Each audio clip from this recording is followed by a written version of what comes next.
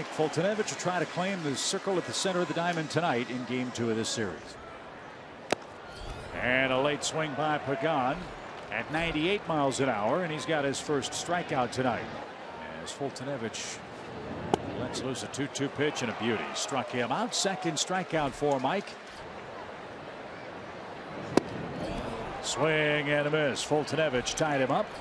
And Mike has his third strikeout and his first since the second inning. Au revoir, Mr. Brown. and a fly ball, shallow right center field. It's going to be caught. One ball, two strikes. Swing and a miss. What a way to work out of seventh inning trouble.